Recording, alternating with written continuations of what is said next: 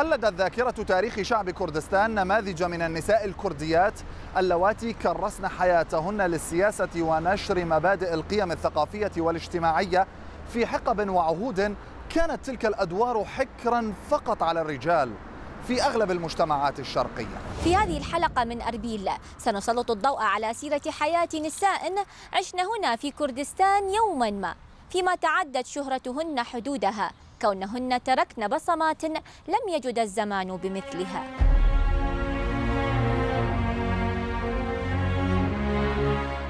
يحفل التاريخ الكردي القديم والحديث بعشرات الأسماء النسائية اللواتي أصبحن رموزا لتحرر المرأة وتطلعاتها في المجتمع الكردستاني. طالما تقبل باختيارها لإدارة شؤونه السياسية والثقافية والاجتماعية. لدرجة تسنمت بعض النساء الكرديات مناصب إدارية عليا في فترات كانت مفصلية بالنسبة لشعب كردستان. وصلت إلى حد رئاسة الإمارة أو العشيرة قبل عشرات السنين. وأخريات شاركن خلال مراحل الثورة التحررية الكردية منذ اندلاعها قبل أكثر من قرن. فيما تركت النساء قاموسا كاملا من الأدب والثقافة والعلوم الإنسانية والتربوية والتطبيقية. في تاريخ أمتنا هناك العديد من الأمثلة النصوية التي تدعو للفخر وخاصة فيما يتعلق بالسياسة والإدارة وحكم الإمارات والعشائر الكردية القديمة كإمارتي بابان وسوران وعشيرتي أردلان والجاف وغيرها.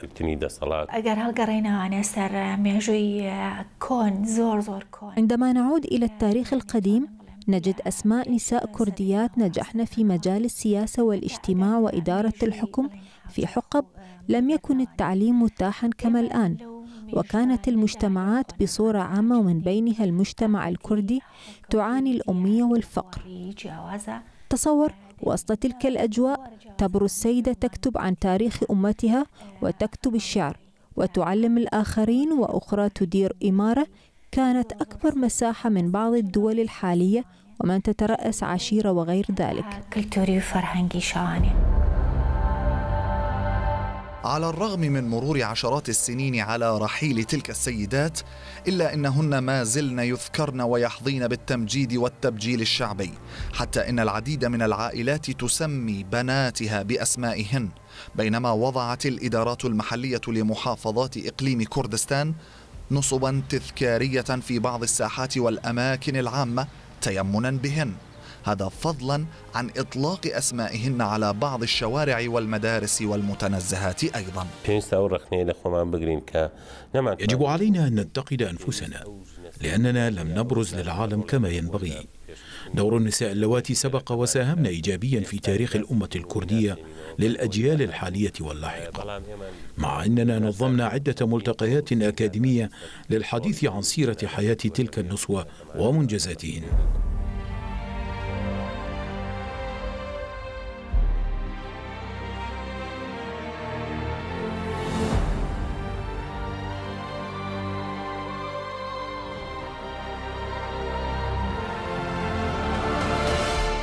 هنا بلدة حرير التي تبعد عن أربيل 60 كيلومترا تقريبا. كانت يوما ما عاصمة لإمارة سوران الكردية التي حكمت المنطقة الممتدة من سهول راوندوز إلى نهر الزاب الصغير الذي كان يفصلها عن إمارة بابان الكردية أيضا. فيها نصب تذكاري للسيدة خان زاد التي حكمت تلك الإمارة وفرضت على التاريخ تثبيت هذا الحدث بكل حذافيره. لم يعرف الكثير عن الأميرة خانزاد التي كانت تنتمي إلى أسرة حكمت إمارة سوران منذ القرن السادس عشر. قبل أن تستلم مقاليد السلطة عشية مقتل شقيقها الأمير سليمان بق حاكم إمارة سوران أثناء تواجده في العاصمة بغداد منتصف القرن السابع عشر.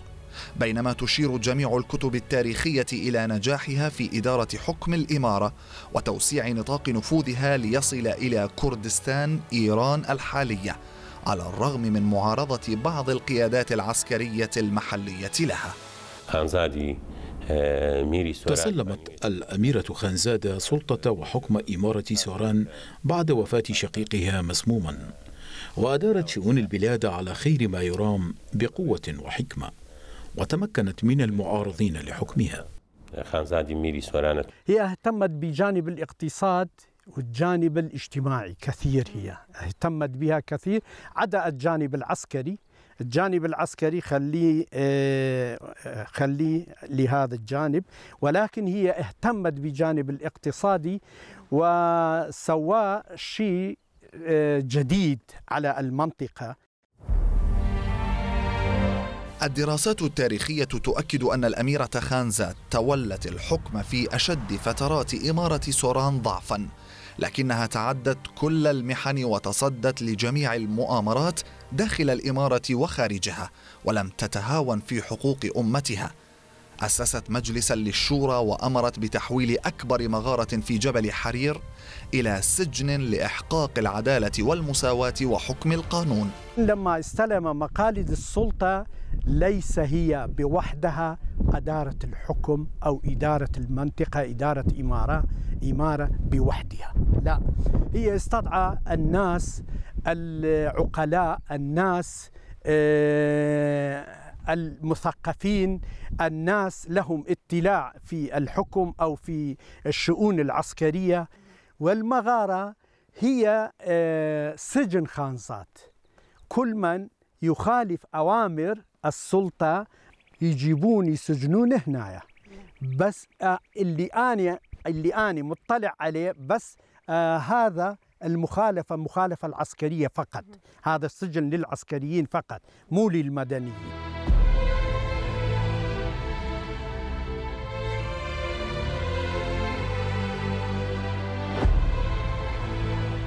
ومن أجل الحفاظ على هيبة إمارتها وحماية مكتسباتها أسست قوة عسكرية من مقاتلين متدربين وأمرت ببناء عدد من القلاع العسكرية على أطراف بعض المدن كحصن لمراقبة الطرقات الرئيسية. وما تزال آثار بعضها باقية إلى يومنا هذا أبرزها قلعة بانمان أو خانزات التي تقع شمال مدينة أربيل على سطح تلة حقيقية. يقدر ارتفاعها بخمسة وعشرين مترا عن سطح الأرض ومساحتها بأكثر من 200 متر مربع. ذاك القلعة همنا هي مثل الربايا الموجودة هسه في في وقت الحاضر. هذيك القلايا آه، قلعات كانوا ربايا يعني قلعة عسكرية كان الجيش يسكنون بها يسكنون بالقلعات. مو الناس الطبيعيين مثلي أو مثلك لا آه، كان القلعة عسكرية لحماية المنطقة فقط.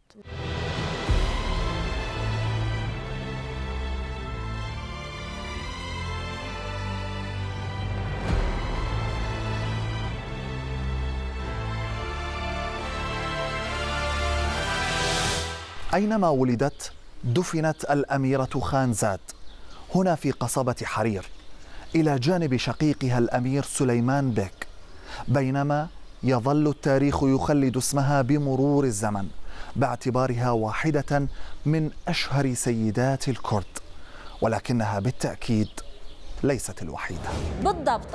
هناك نساء أخريات لا تقلن شهرة عن الأميرة خانزاد حفصة خان النقيب أيضا سيدة كردية دخل اسمها في ذاكرة تاريخ أشهر نساء الكرد. بعد أن كرست معظم حياتها للسياسة ونشر القيم الثقافية والاجتماعية والإنسانية.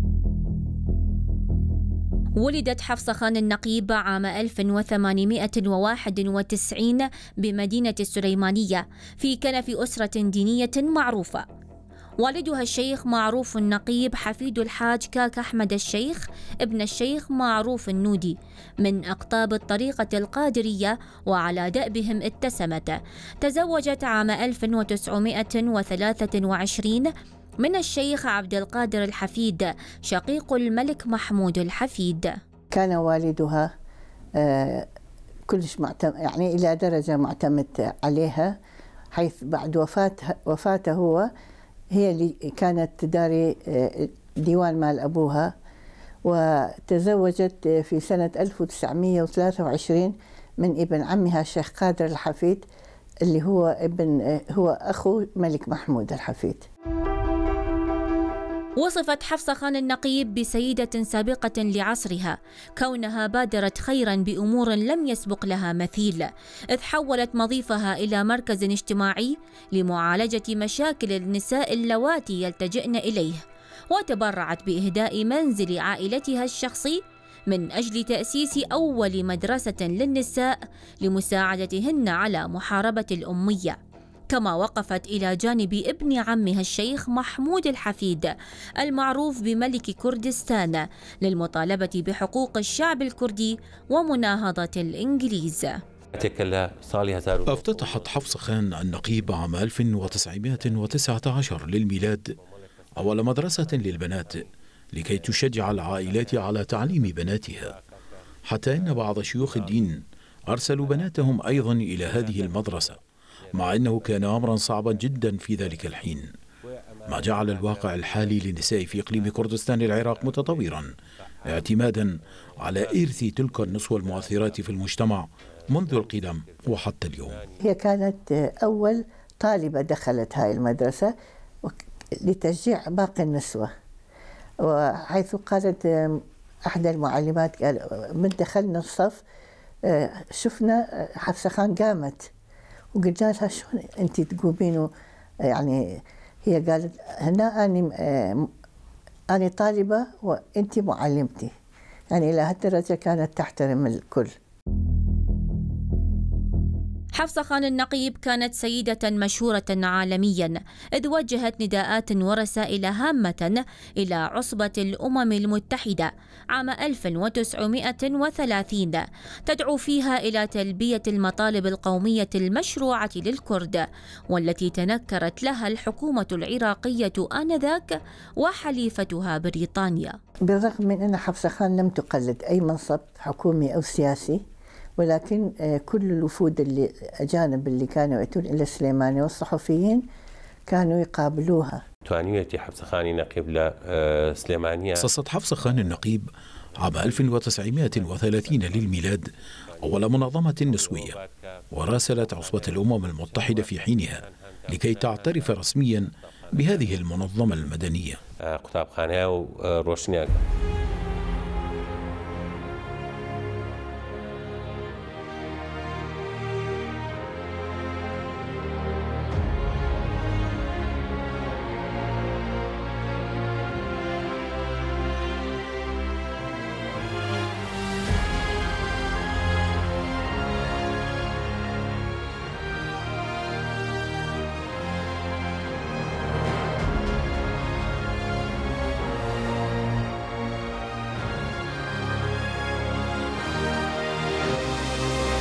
وروشنياك النقيب التي تركت لنا إنجازاتها ونقشت بصمتها في تاريخ كردستان ترقد هنا في مقبرة قرد سيوان في السليمانية. بعد الفاصل أسماء أخرى لنساء أسهمن بإثراء موروثات الأمة الكردية فأصبحت سيرتهن ضمن المناهج الدراسية التي تتحدث بإسهاب عن منجزاتهن في الشؤون السياسية والثقافية والاجتماعية.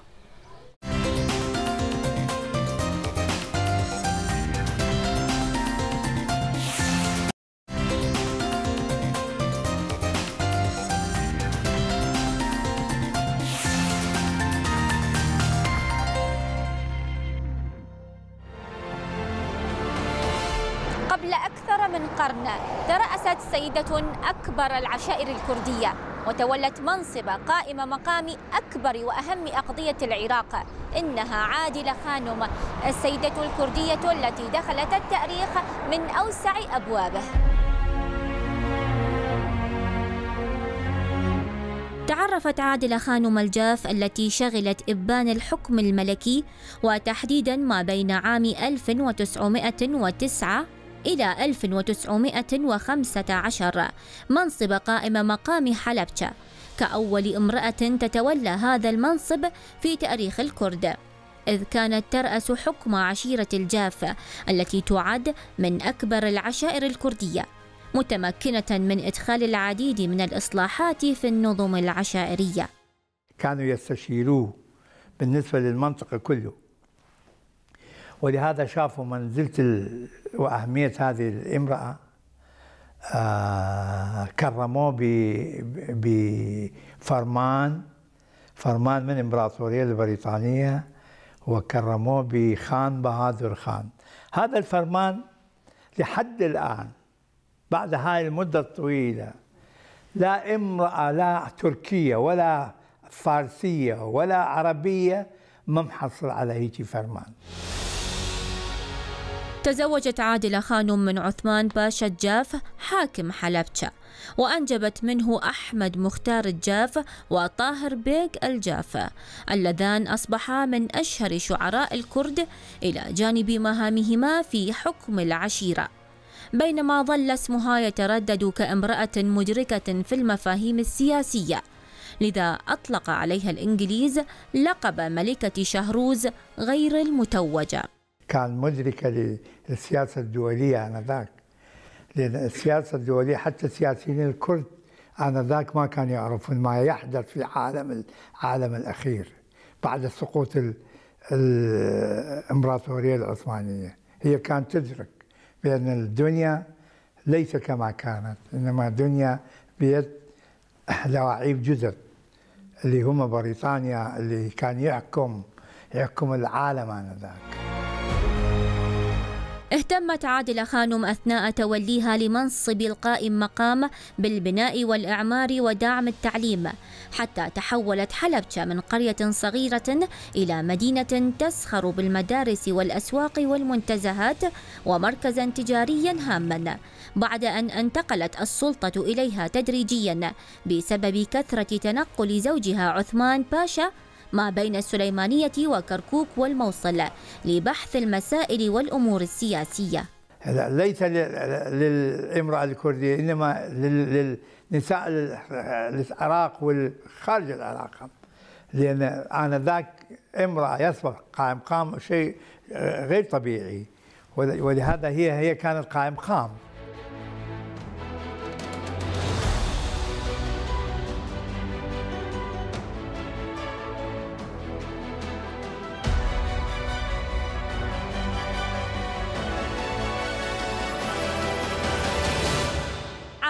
1924 توفيت عادلة خانم ودفنت في مقبرة عبا بيليا بمدينة حلبشة بعد أن تركت قاموسا في الحكم. وكيفية الفصل بين الحكم العشائري والمدني أو الربط بينهما عند الحاجة. فيما ظل اسمها محفورا في ذاكرة أغلب شرائح المجتمع الكردستاني. ومن كل هذه الحقب ننتقل إلى بداية السبعينات. لنتحدث عن فتاة لم تكن تتعدى العشرين من عمرها. حينما دخلت عالم السياسة أول مرة في قلب العاصمة بغداد واتخذت طريق النضال السياسي هناك. وما يزال المجتمع الكردستاني يتذكرها إلى يومنا هذا وذلك بسبب الطريقة التي انتهت بها حياتها. ليلى قاسم السياسية الكردية التي ولدت في مدينة خانقين في السابع والعشرين من يناير كانون الثاني عام 1952 لمع اسمها في سبعينات القرن الماضي بعد أن انضمت إلى الحزب الديمقراطي الكردستاني عام سبعين وتسعمائة وألف. كانت معروفة بأنها امرأة جسورة متعلمة وتدافع عن قضية شعبها. كانت هي ضمن تنظيمات النسوي باتحاد النساء كردستان وكانت عضوة ناشطة تعمل في في كافة المجالات بشؤون المرأة الكردية. يعني ما كانت تشتغل للفيلين والغير كانت تشتغل للمرأة الكردية بشكل عام يعني. كانت تختلف عن باقي النساء يعني الحقيقة يعني. كانت مندفعة وكانت شاطرة وكانت جسورة وكانت يعني متكلمة. كانت ليلى قاسم طالبة في كلية الآداب بجامعة بغداد قسم علم الاجتماع. عندما ألقي القبض عليها في التاسع والعشرين من نيسان أبريل عام 1974 عشية انهيار المفاوضات بين نظام حزب البعث الحاكم آنذاك والملا مصطفى البارزاني زعيم الحزب الديمقراطي الكردستاني في تلك الفترة. وحكم عليها بالإعدام شنقا لتكون أول امرأة تعتلي مكرهة منصة الإعدام. وذلك يوم الثاني عشر من أيار مايو عام 1974 بسبب نصرتها لقضية آمنت بها. ليلى قاسم تعتبر ليلى قاسم أول فتاة شابة وثاني أنثى في العراق ينفذ عليها حكم الإعدام من أجل قضية سياسية. هي لم تقتل أحدا ولم تسرق مال العام ولم تتجسس على الدولة. بل طالبت بحقوق شعبها. أظن يفترض على العالم وكل الشعوب التي نالت من اضطهاد حكامها أو التي تعاني من هذا الأمر أن يجعل من الشهيدة مثالا وقدوة وخاصة النساء اللواتي يسعين من أجل تحقيق العدالة والمساواة في المجتمعات. وإلى كردستان إيران حيث ظهرت هناك أول شاعرة ومؤرخة كردية من مدينة سنندج. عام 1805 للميلاد.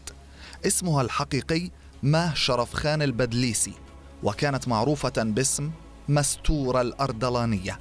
تزوجت من الأمير خسرو خان الذي استلم حكم إمارة أردلان عام 1826 مستورة أردلاني آه، كانت مستورة تنتمي إلى عائلة حاكمة في إمارة أردلان شرقي كردستان. استخدمت قلمها لمواجهة حكم القاجاريين في حقبة كانت صراع الإمارات في أشدها. وفعلا حافظت على حكم الإمارة إلى أن تركت مدينة سينا بشكل نهائي واستقرت في السليمانية. مستورة كانت دائما ما ترافق زوجها وخاصة خلال تفقد أحوال الرعية والأماكن العامة في حدود الإمارة. هذا فضلا عن تفقد القلاع والمناطق الحدودية وظلت تتابع وتستمع إلى حكايات الناس وكل ذلك مكنها من تأليف كتابها الموسوم تاريخ أردلان الذي يعد أحد المصادر المهمة لدراسة التاريخ الكردي الحديث. هي كان شاعرة رائعة ومؤرخة وخطاطة وكذلك عندها كتاب عن عن الشريعة الشريعة الإسلامية. فهي كانت تكتب الشعر باللغة الفارسية والكردية والقليل من العربية. أستاذ أحمد السر راي اويكا همو زمين الساسي لا أتوقع أن تظهر شخصيات نسائية أمثال اللواتي التي ذكرناهم. الزمن قد تغير كثيرا أو اختلفت المجتمعات وتقلص الانتماء القومي وسط كل ذلك نحن ككرد إلى الآن لم نحصل على كيان مستقل بهوية مستقلة. سؤال يحتاج إلى إجابات طويلة.